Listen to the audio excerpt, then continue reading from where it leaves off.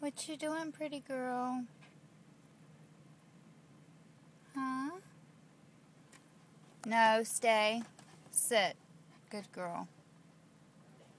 You like to go for a ride in the car, huh? Well, now we're sitting and waiting in the car, but better than fighting other people in the store. You're hot. You want to get up, get out, walk around some, huh? You gotta go outside, Nate?